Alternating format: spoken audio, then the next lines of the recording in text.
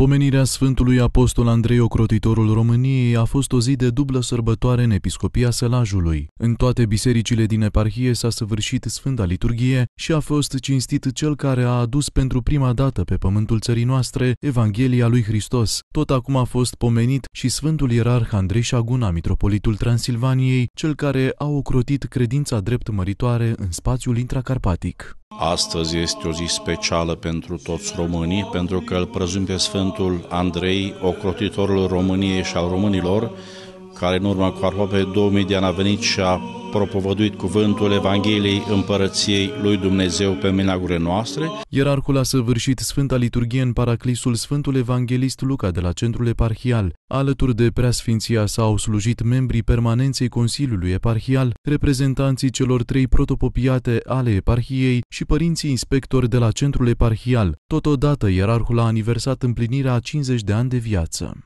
Suntem la ceas aniversar o zi în sufletul preasfințitului nostru în care serbează ziua de naștere, motiv pentru care ne-am adunat în paraclisul Sfintei Episcopii pentru a-i mulțumi lui Dumnezeu pentru toate darurile revărsate asupra vrednicului nostru ierarh și implicit asupra eparhiei Sălajului.